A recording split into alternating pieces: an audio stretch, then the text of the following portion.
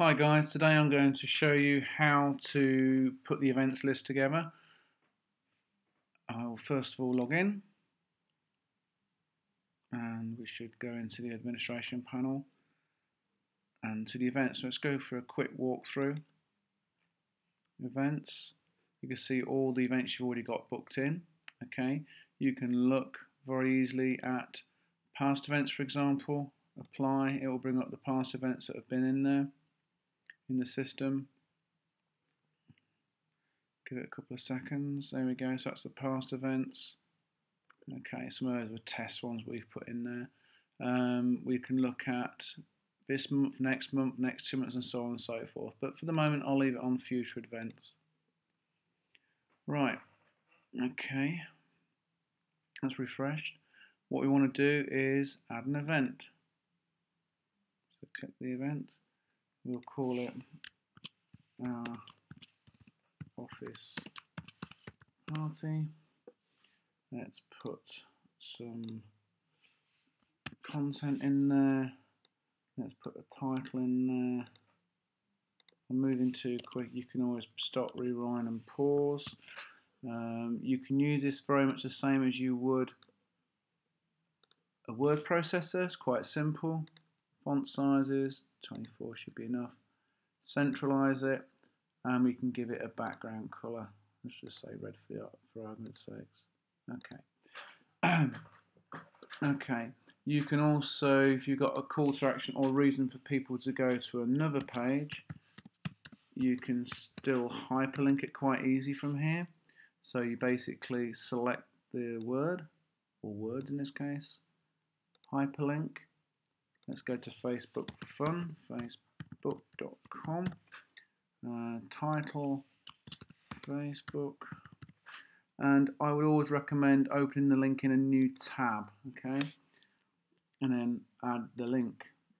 Right, that's the easy bit. Then we can put in the when. Let's do it Friday. And we're going to do it from mm, 6 o'clock-ish. There we go, six o'clock to a boring party, quarter to ten. And if it's obviously over a period of days, you can put the next date in there or all day and so on and so forth. You can save the drafts. If you've got more information you need to put in later, you can. Um, what else? If it doesn't have a physical location, you, you can put it on here as well. So maybe it's something on the TV or a sports event and there's no actual physical location required, you can do that. But make sure you do click that box. Okay. Um, part is going to be our office. Our office. Oh, okay, it's populated already. You just put the address in, putting up the map straight away. Pretty easy. If you'd like to, in fact, you have to put it into a category. So this is a social event, so click the social. If it was a business, so on and so forth. Bookings, yes, we're going to take some bookings. We're going to put a standard ticket, or should we be a bit mean?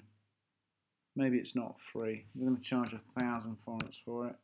We want 30 people to come. I wouldn't worry about the rest of this. Do not use this members only or required. Um, in fact, you sorry, you can use required, but don't use the members only. The members only needs people to actually log with the system, and it's going to cause you all sorts of problems that you don't really need.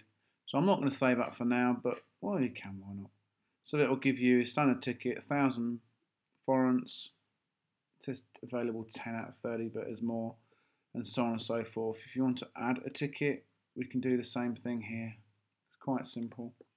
Okay. So that's the simple fact way of uh, actually adding an event. It's not too complicated. You can preview your event. So a quick look what it looks like. Excuse me. So that's our office party at our office. It's a social category, and there's the information there. And if we click that, that should take us to Facebook. There you go. Okay, we don't need that. Right, so back to the interface. Um, you can put event tags in here if you wish to make it, you know, like our office party or Budapest party or something like that. You can you you can put them in there. I don't think there's much need for it. We're not going to be SEO in this event. You know, it's two days. Not enough people are going to find it. The search engines won't find it, etc., etc. So it's a bit pointless. So you can add and then get rid of if you wish. Okay. So what's important in here? At the moment, you only need to do is use the events page, add event, or the bookings. So if we go to bookings, basically it'll enable you to have a look at future events, past events, or all events, etc. So if you look at past events, if you've got something that's happened and you want to just check it, select, filter, and it will bring it up. You can, I think, yeah, you can put all, filter. So it's telling me at that event, at the business seminar one, there was nine people, and there's your name. So if you've got any disputes or who was, wasn't there, etc., etc., you can have a look at your information here. Okay, that's pretty much it for the uh, event calendar. It is far more complicated than what I've just gone over here, but I think this is more than enough to get you started. I'll probably make another one that goes into a little bit more detail um, at a future date, but I think this would be more than enough for now. So, as always, any problems, any questions, give me a call or send me an email. Hope this helps. Thanks for watching.